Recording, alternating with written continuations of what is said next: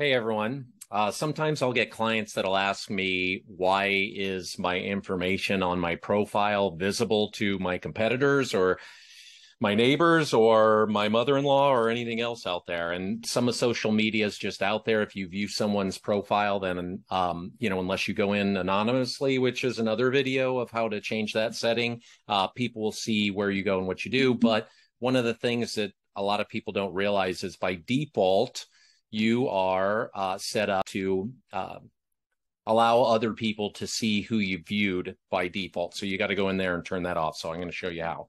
So um, example. So if I, Amelia, uh, Rev Genius legend. Okay, so okay, so she does not have it turned off. So if you look at, if I happen to look at Amelia it'll say right over here, people also viewed, and you can see who she's viewed. So that may be private information that she doesn't want to share.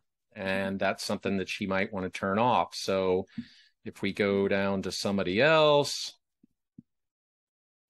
people also viewed. Troy may not want everyone to see who he's viewed. So how do I change that? So what you do is you go into your settings and privacy, and that'll bring you up into several categories. The first category is the account preferences. You want to go down to the second box, site preferences. And down here, it says people also viewed.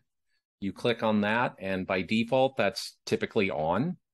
And you want to turn that off. So if it's on, you'll see it. And if it's off, you will not. There are several other settings in here. There are actually 464 current areas, last I count, uh, in LinkedIn that are areas and settings to change. So you want to shut those off if you don't want to share that. Thanks. Bye.